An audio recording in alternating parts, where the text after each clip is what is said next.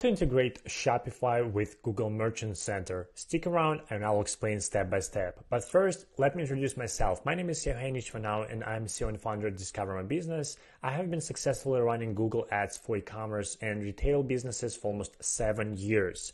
So let's go to the Merchant Center first. I'll click sign in, sign in to the Merchant Center. If you don't have account, just create one. You'll be redirected to this dashboard, which will ask you uh, to enter all of your information. Uh, if you need a step-by-step how to uh, sign up for Merchant Center, there's another video on my channel. I will uh, basically walk you through steps.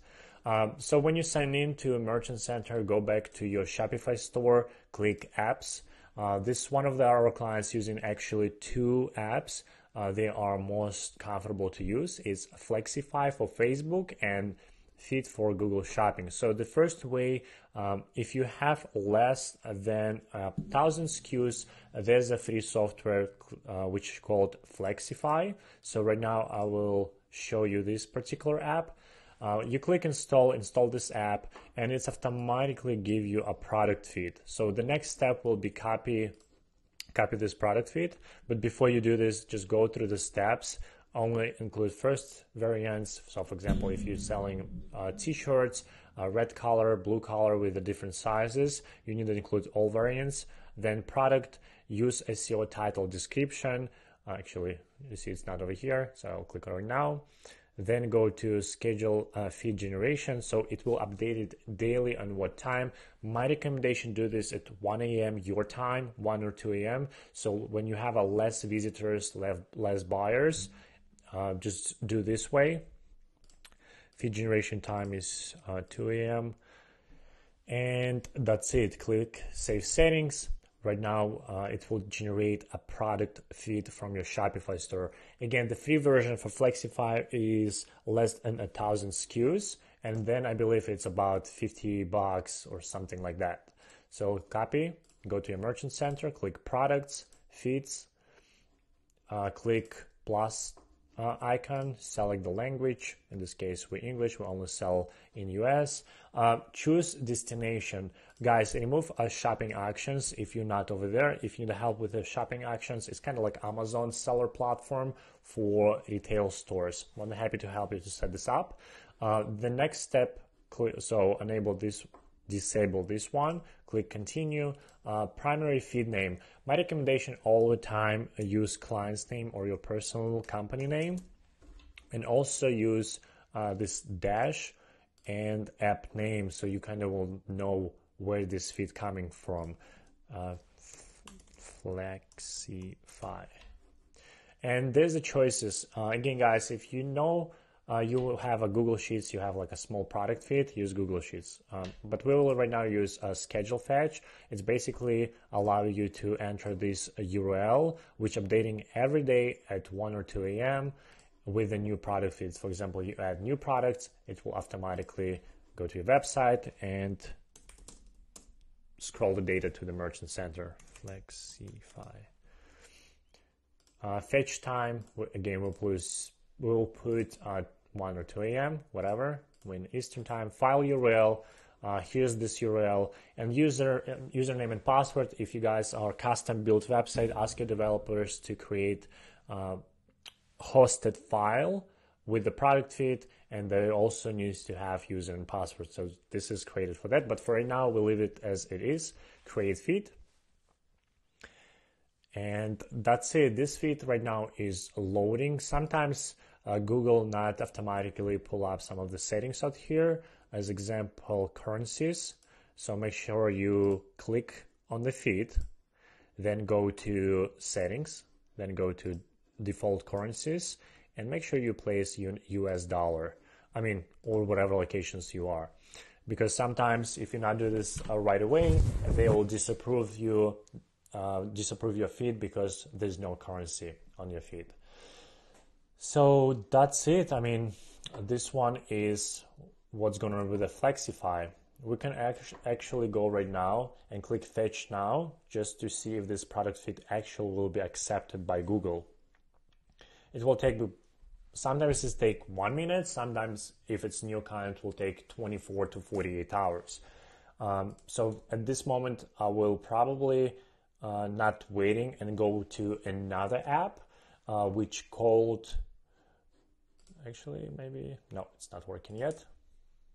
This particular client account has already been running for uh, six months, so they should have something on here by right now.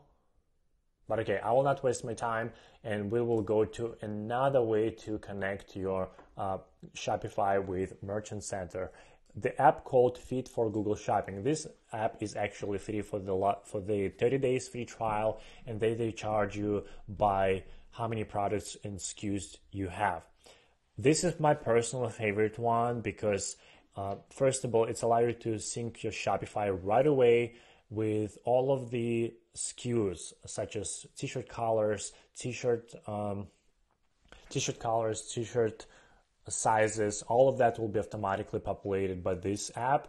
Uh, highly recommend. The price start, I believe, at $12 to up to $400, depending again of your Shopify store. So the first thing first, click uh, sync settings from Shopify, then go to uh, notification email, insert this email. It's really important. Click all products, default product title or SEO title. Again, guys, if you're working with SEO, my recommendation will be go to SEO settings. Uh, then go to uh, append variant name or to product title, yes. Inventory policy, follow. Product image options. So if you want to add extra images from your website, we'll leave it as it is. Submit additional image. We'll check it out. Actually, let me check. Yeah. Uh, submit each product description. Uh, sometimes yes, sometimes not. So uh, we finish out here. So it is sync. If you have submitted a product feed for the first time from your app, it will take more than 10 hours. Again, since we're already working with this client for a long time, it will take probably a few minutes. Uh, the next step will be go to integration, manage products. Uh, it's coming back. Let me put my face over here. Uh, go to Google Shopping settings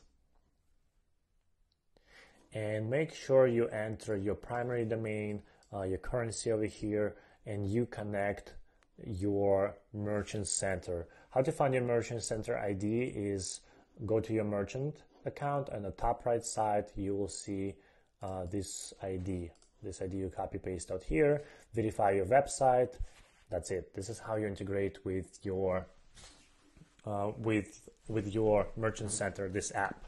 Uh, the next step is Google Shopping Actions. Again, to start working with Google Shopping Actions, you need a new app, but it's completely different video. You can go to our channel and check how to do so. Okay, so it will take, as you remember, since we are a new account, it's already out there, it's submitted. So we're going back to our merchant center, go to products, feeds, uh, reload this page. And product feed which are coming from this app, uh, Sims Shopify apps, it's called, the feed name will call it Content API. Uh, API. So click on this one and you will see this automatically populated in all of the platforms.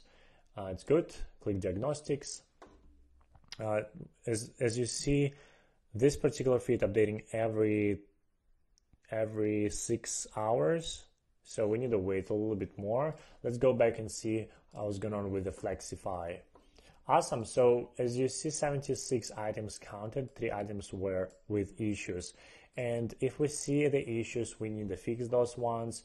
Uh, as you see, item ID, what the value is, item ID, what the value is. So by the item ID, you can find and add GTN or UPC or EPC numbers uh, to your uh, Shopify on your Shopify store. And also you can download and to find out what the titles are for those products. That's it. This is how you connect with the two ways your Shopify with Merchant Center. Again, if you guys have like a store of 10 products or 15 products, my personal opinion to use a spreadsheet. Uh, you basically go to your Google Drive and create a spreadsheet. And when you click uh, add new product feed, feed check the language, continue. You just pick Google Sheets and it will automatically connect it to your uh, uh, to Google Drive and then you choose the file. This one will give you so much possibilities uh, with uh, keywords, with the product type, Google categories, and you can basically manually manage your campaigns, which will allow you to basically get a lot of more results uh, on the Google Shopping side. So that's it. If you like this video, please subscribe and like the button, and I will see you in the next one.